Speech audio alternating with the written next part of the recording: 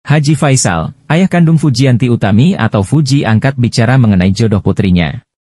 Haji Faisal mengaku sampai saat ini belum memikirkan masalah jodoh untuk Fuji dalam waktu dekat ini. Saya berpikir ke situ itu masalah jodoh untuk jangka panjang. Tapi untuk jangka pendeknya belum, ungkap Haji Faisal ke awal media belum lama ini. Selain itu, Faisal mengaku putrinya tergolong masih muda. Sehingga dia belum mau melihat putrinya di pelaminan. Karena bagi saya umur 21 tahun masih terlalu muda, tutur Faisal. Dia pun meminta putrinya saat ini untuk lebih berkarya dan fokus ke karirnya. Jangan sekarang, nikah, berkaryalah dulu, bekerjalah dulu. Kalau dia ada sedikit uang kumpulkanlah dulu, toh hidup juga masih panjang kalau Tuhan memberikan umur ya, terang Haji Faisal. Selebgram Fujianti Utami alias Fuji genap berusia 21 tahun. Mantan pacar Tarik Halilintar baru saja berulang tahun ke-21 pada Jumat 3 November 2023 lalu. Sementara itu, Haji Faisal menyinggung soal jodoh Fuji. Selebgram Fujianti Utami alias Fuji genap berusia 21 tahun. Mantan pacar Tarik Halilintar baru saja berulang tahun ke-21 pada Jumat 3 November 2023 lalu.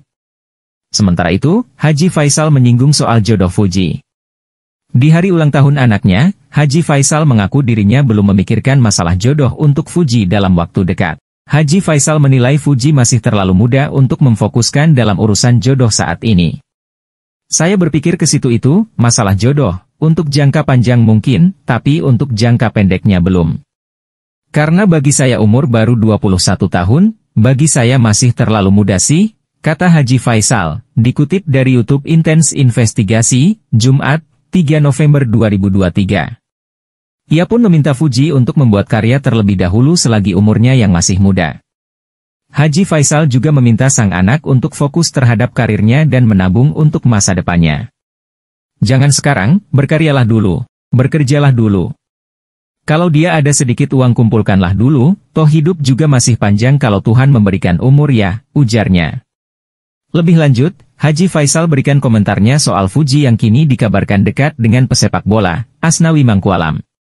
Haji Faisal mengatakan bahwa dirinya hingga saat ini belum menanyai langsung mengenai orang yang dekat dengan putrinya tersebut.